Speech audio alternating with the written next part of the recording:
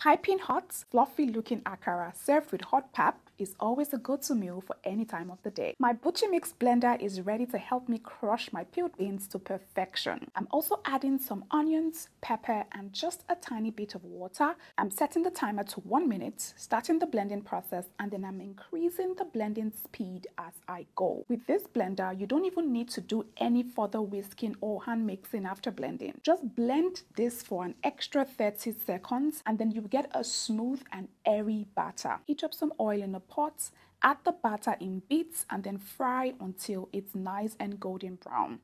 See, this akara didn't last up to 20 minutes in my household for very obvious reasons.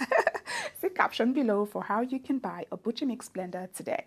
Check the link in my bio to pre-order a copy of my new cookbook, Winnie Sizzling Selections.